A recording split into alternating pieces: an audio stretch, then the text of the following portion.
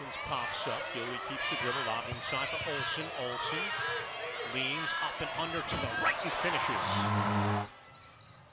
Utterback got to the low block. Nice pass to Gilwee, who lays it up and in. Gilwee. Off of the timeout. Hand it off for Bowman. She'll fire a jumper, and that's good. That's a And on the inbound pass, it's stolen away by Vermont. Ahead to Richardson, then Gilwee. Running the floor, Olson.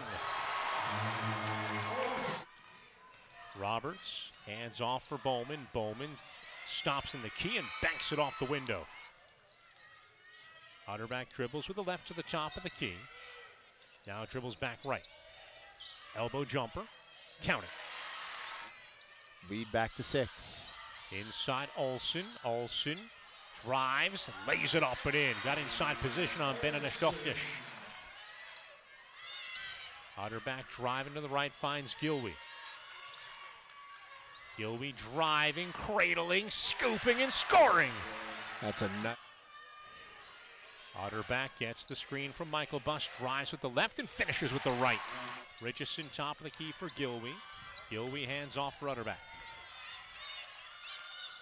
Utterback driving, kicks out. Gilwee for three. Too short, no good. Rebounded by Olson. Olson on the kick out into the corner. Larkins, one step, back for three. Josie Larkins. Final two minutes here. Larkins with her first three points of the game, a big one for the Catamounts to put them up by two. Now Utterback. Hesitates, bounces it inside. Olson gets it, drives left, got fouled, plus the bucket.